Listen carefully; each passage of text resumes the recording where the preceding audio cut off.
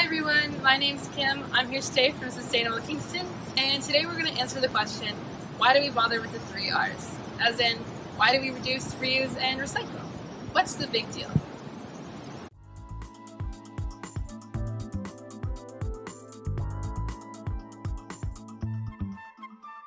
Over the course of this video series, we've discussed the meaning of the three R's, the recycling process, and how to sort through your recycling in Kingston.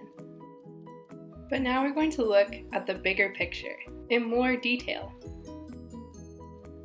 As in, why is it so important to reduce your consumption and waste creation, reuse the items that you already own, and to recycle old materials into new things instead of using new materials? I've broken this video down into a few sections, or learning goals. Firstly, we're going to talk about the impacts of landfills. Then, we're going to talk about the impacts of plastic waste. Following that, we're going to talk about the issue of limited space.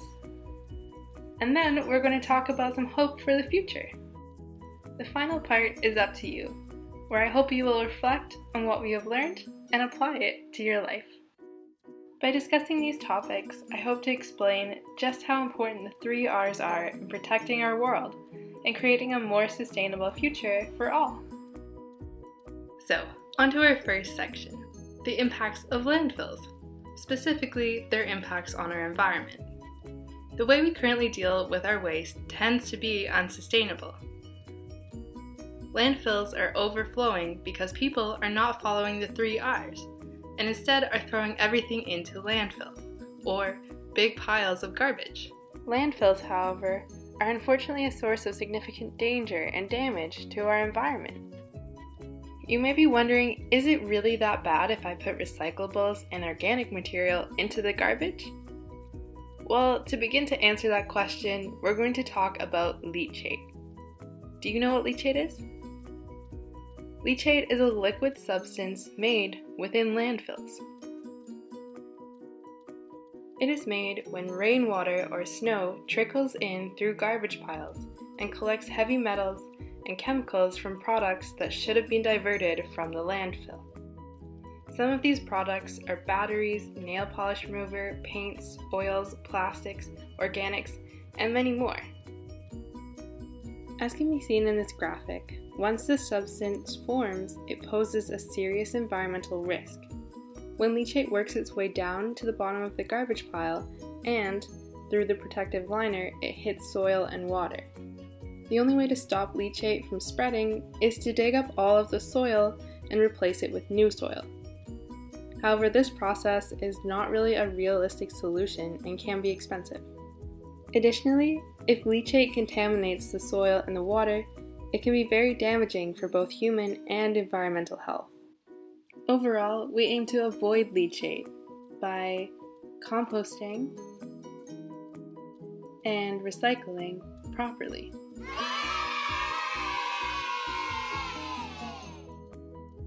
Another damaging impact of landfills is their creation of greenhouse gases. When organic products are left in the landfill, they are eaten by tiny microbes. Microbes are tiny living things that are too small to be seen by the naked eye. These microbes release chemical gases when they eat organics. Some of these gases released are methane and carbon dioxide. Do you know what the danger of too much methane and carbon dioxide in our atmosphere is? Methane and carbon dioxide belong to a group of gases known as greenhouse gases, which create what we call the greenhouse effect. The greenhouse effect is when gases, such as methane and carbon dioxide, are released into the atmosphere and create a sort of shield between Earth's atmosphere and space. This shield lets the sun's radiation in, but does not let that radiation or the extra radiation created by us out. This means that we have trapped all of this heated radiation inside of our atmosphere, and it has nowhere to go. This effect is similar to that of being inside a greenhouse hence the name, where heat is essentially trapped inside its walls in order to keep the plants warm. However, in our case, on a global scale, too much greenhouse gases in our atmosphere end up creating a global rise in temperature, thus changing our climates. Landfills are one of the top producers of methane and carbon dioxide released into our atmosphere.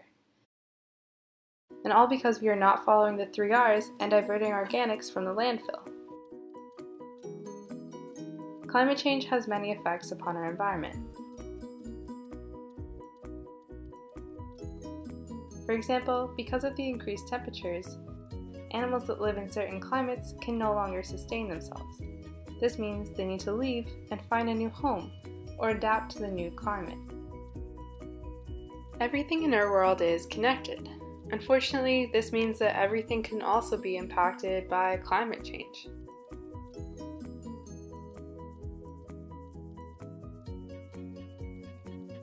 This is just a brief overview of the impacts of landfills on the environment, but I encourage you to learn as much as you can.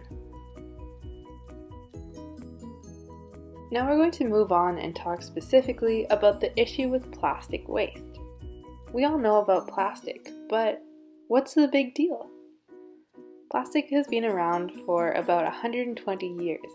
However, plastic takes years and years to break down, meaning most of the plastic produced 120 years ago is still around today. For example, according to the WWF, plastic bags take around 20 years to break down, coffee cups 30 years, plastic straws 200 years, and around 450 years for plastic water bottles. Unfortunately, this means that there's a lot of plastic in our landfills and in our environment. Plastic is a lightweight product, meaning it travels very easily.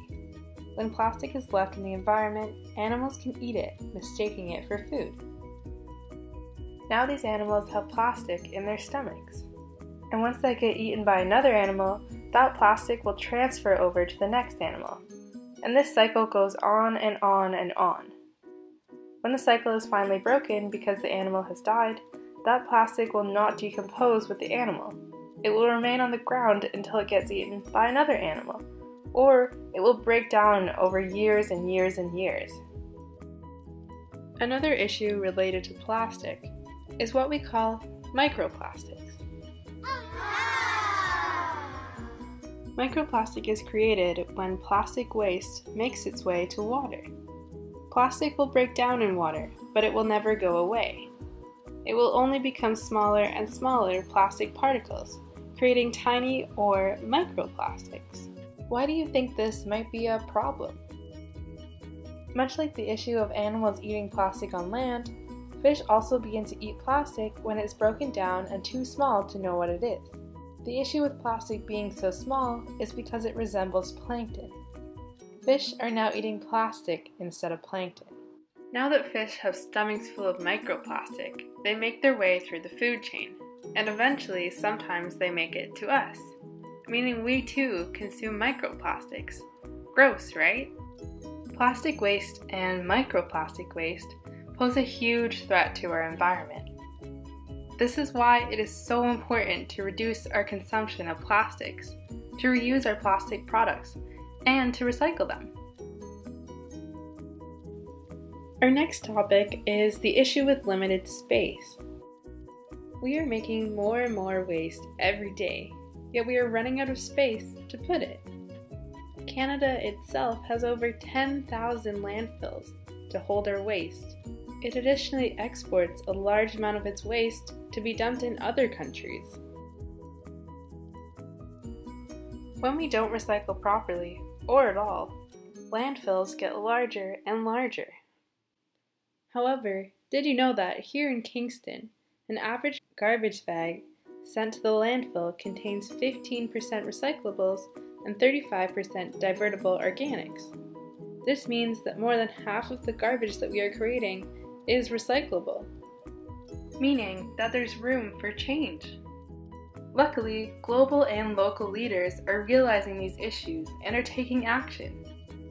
On March 5, 2019, the City of Kingston became the first Ontario municipality to declare that climate change is an emergency. This vote was unanimous among councillors, It has been Kingston's vision to become the most sustainable city in Canada for some time. In 2014, Kingston's Climate Action Plan was released as a detailed summary of the issues facing Kingston as well as climate action goals for the future. Since then, Kingston has taken many actions towards improving sustainability for the entire community. However, we need your help. Youth have been some of the most influential people in pushing for sustainability and climate action. This means that you have the power to push for what you believe in. We need to change the way that we live in order to protect the planet and ensure that future and current generations have a beautiful and sustainable place to live. In terms of waste, we need to work towards the three R's, with reducing as our top priority. We hope that throughout this video series, you've been able to learn about the three R's, how to complete them, and why they are so important. Leachate, the greenhouse gas effect, plastic waste, microplastics, and landfill space are some of the biggest environmental and sustainability issues facing our world today. We encourage you to use our worksheets to test out your knowledge on these topics, and if you have any questions, to reach out using our social media.